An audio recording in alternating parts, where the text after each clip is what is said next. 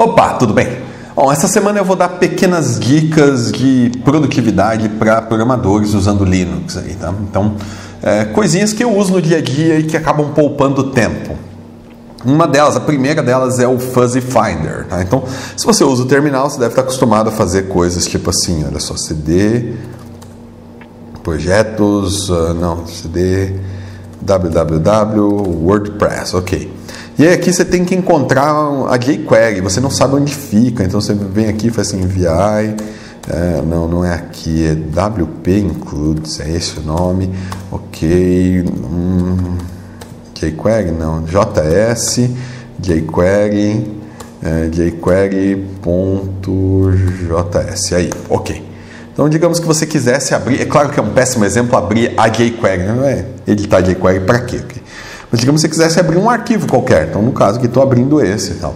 É muito comum a gente fica dando tab ali assim. E tem gente que nem dá tab sabe, né? Então, aí é pior ainda, é impossível usar o terminal, né? fica muito, muito lento.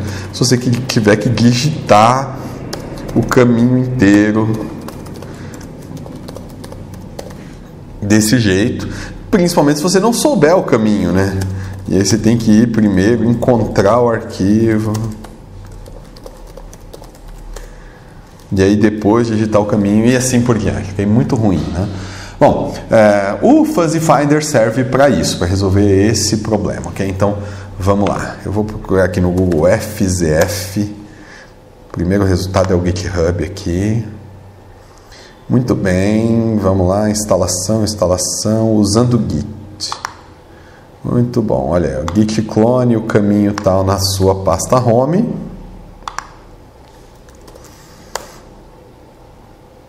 Clonou o Fuzzy Finder dentro da minha pasta home e em seguida eu vou executar o install que tem lá.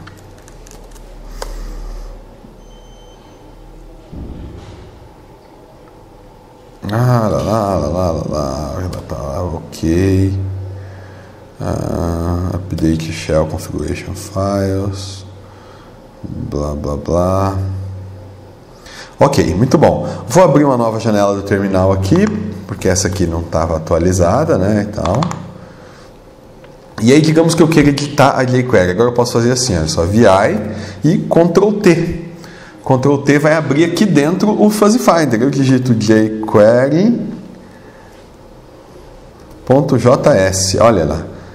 Então veja que eu não preciso nem digitar a palavra inteira, tá? jqu.js encontrou meu arquivo ali, dou Enter e ele coloca o arquivo aqui na linha de comando para mim.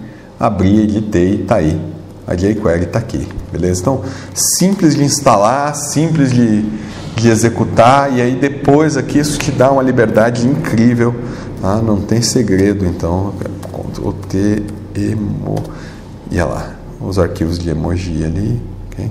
Você consegue navegar aqui também usando as setinhas, se você está procurando um arquivo, muito útil mesmo. Tá? Aqui muda bastante a produtividade para lidar com arquivos aqui no terminal. É, é, realmente mais rápido, inclusive, do que qualquer coisa de interface gráfica que eu conheço, ok? Muito bom de, de trabalhar com o Fuzzy Finder aqui, ok?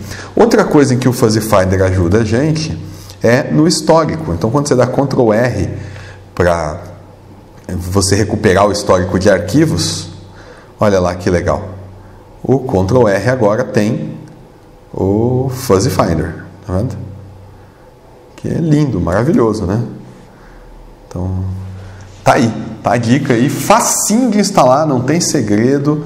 É, se você usa Mac, você vai usar essa segunda opção aqui do Homebrew, ok? Funciona, é uma beleza, muito, muito, muito produtivo. Uh, o Fuzzy Finder também pode ser usado como uma ferramenta para você fazer algum tipo de integração, alguma coisa assim, tá? Então, digamos que você queira fazer um shell script e no seu shell script você queira chamar o Fuzzy Finder. Então, você pode fazer um troço desse tipo assim, olha só.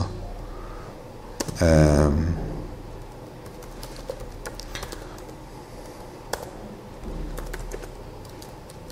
Escrever um shell script aqui e aí vou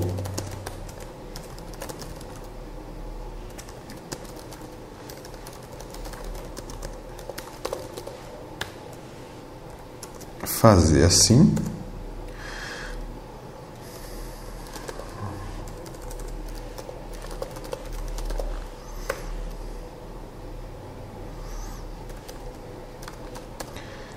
E olha só, eu executo aqui o comando FZF. Ah, tá? pode ser desse jeito também, né? Assim, ok. Muito bom.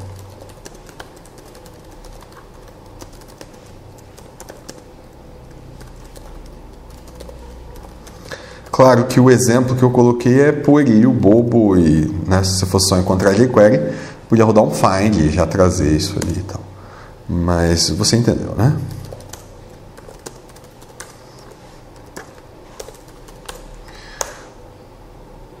E tá aí, vamos lá, jQuery, vou dar Enter e tá lá, ó, encontrada em e o caminho, beleza? Então você pode executar o comando FZF e o, o, o, arquivo que o cara selecionar vai ser jogado na stdin de quem chamou, okay? é o stdout do, do FZF. Então tá aí, é um jeito de você usar Fuzzy Finder dentro dos seus programas, fazer a integração que você quiser, beleza? Bom, é isso aí. É, essa semana inteira vão ser assim pequenas dicas, coisinhas que ajudam a tornar a gente mais produtivo no dia a dia trabalhando com Linux, beleza? É, vai ter algumas dicas de VI também, ok? Está gostando dos vídeos? Clica no joinha para a gente saber que está gostando. Não está gostando? Clica naquele outro assim para a gente saber também. E dá uma olhada lá no campus online da Vise. Assina o campus online, tá? Uh, no campus online não tem pequenos vídeos de dica como aqui. No campus online tem cursos completos. Os cursos são ministrados por mim também. Então você vai me ver lá ensinando, dando aula. Uh, já tem um curso completo publicado lá que é um curso de Linux para programadores, um curso bastante extenso. A gente está começando a publicar agora o curso de otimização de sites. Dá uma olhada campus.vise.com.br, é, você vai gostar, ok? Valeu!